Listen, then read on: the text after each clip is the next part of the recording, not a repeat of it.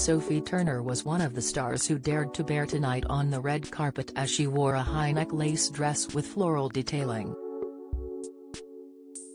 Meanwhile, Alex Scott also looked radiant as she put her best foot forward in a strapless dress that flashed her underwear.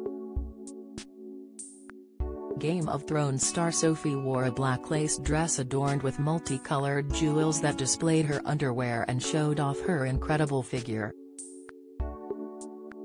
The actress wore her bright red locks down in a blow-dried style while framing her emerald eyes with a blunt cut fringe. Alex dressed in a similar lace dress that consisted of a strapless neckline with a full skirt.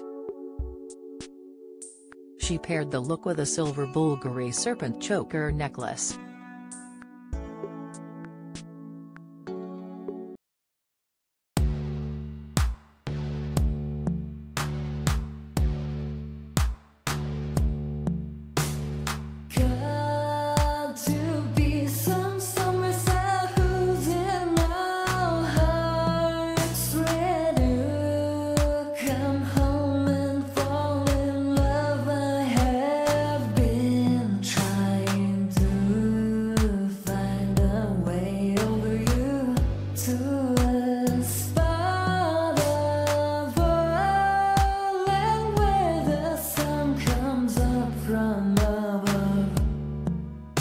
melted.